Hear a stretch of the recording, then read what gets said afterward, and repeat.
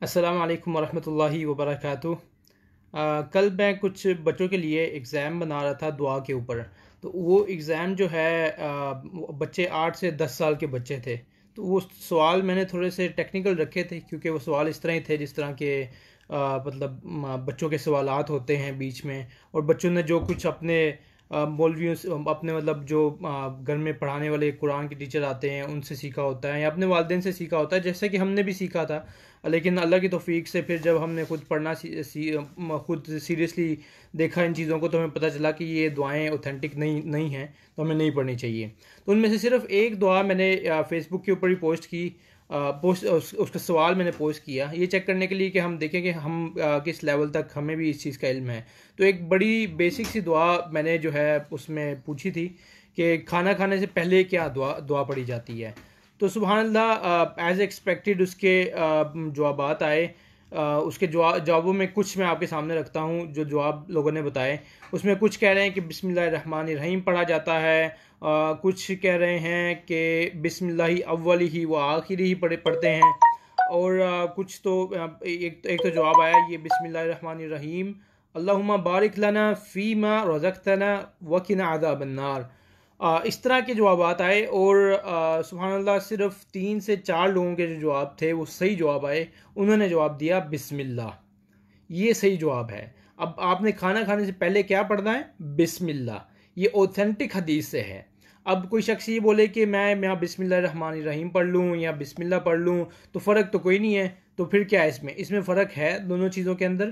کیا فرق ہے کہ نبی کریم صلی اللہ علیہ وسلم نے ہمیں بتایا ہے کہ آپ نے کھانا کھانے سے پہلے بسم اللہ پڑھنا ہے۔ آپ نے کپڑے اتارنے سے پہلے بسم اللہ پڑھنا ہے۔ آپ نے گھر داخل ہونے سے پہلے بسم اللہ پڑھنا ہے۔ اگر آپ کو کہیں پر رستے میں ٹھوکر لگتی ہے، آپ گرنے لگتے ہو تو آپ بچ جاتے ہو تو پھر آپ نے بسم اللہ پڑھنا ہے۔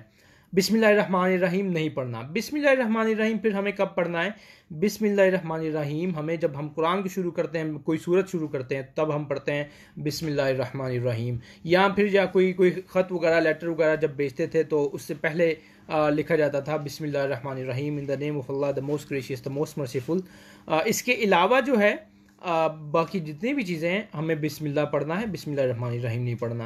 اور ایک جو کچھ ساتھی انہوں نے یہ بھی جواب دیا کہ ہم بسم اللہ ہی فی اول ہی و آخری پڑھیں گے۔ تو یہ جو دعا ہے، یہ آپ، اگر آپ شروع میں پڑھنا بھول جائیں بسم اللہ، تو آپ کو بیچ میں یاد آیا کہ یار میں نے تو دعا نہیں پڑھی، تو پھر آپ یہ دعا پڑھیں گے۔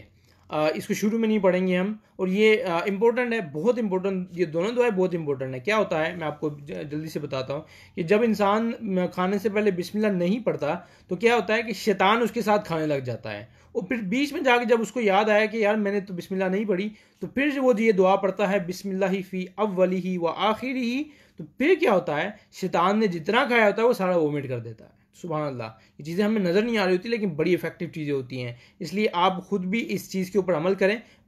بسم اللہ اللہ، بارکت اللہ، کہیں کسی دعا، کسی اوتھینٹک حدیث سے ہمیں نہیں ملتی۔ بسم اللہ۔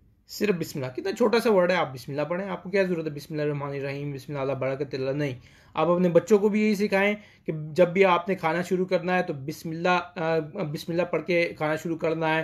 آپ نے سیدھے ہاتھ سے کھانا ہے اور آپ کے سامنے جو کھانا ہے، ادھر سے کھانا ہے، پلیٹ کے بیچ میں نہیں گھومنا ہمیں۔ تو یہ بڑی امپورٹنٹ تھی، چیز تھی۔ اس سے یہ پتہ چلتا ہے کہ سبحان اللہ ہم کا کس لیول پہ کے اوپر کھڑے ہیں کہ ہم اتنی بیسک سی دعا ہمیں نہیں پتا۔ تو انشاءاللہ میں کوشش کروں گا کہ اس طرح کی جو اور دعائیں ہیں جس کے اندر لوگوں کے اندر کنفیوژن ہے، تو ان دعاؤں کو میں ایز اے کوشچن وہاں رکھوں گا اور پھر دیکھتے ہیں کہ لوگ کیا جواب دیتے ہیں اور انشاءاللہ پھر اس کے اوپر میں آپ لوگوں کو جو ہے لائیو آ کر اس کا جواب دوں گا۔ تو آج کا، آج کی اس دعا کا جواب تھا کہ آپ نے کھانا کھانے سے پہلے بسم اللہ پڑھنا ہے۔ جزاکم اللہ خیر، انشاءاللہ دوبارہ ملاقات ہوگی۔ تب تک کے لیے السلام علیکم ورحمۃ اللہ وبرکاتہ۔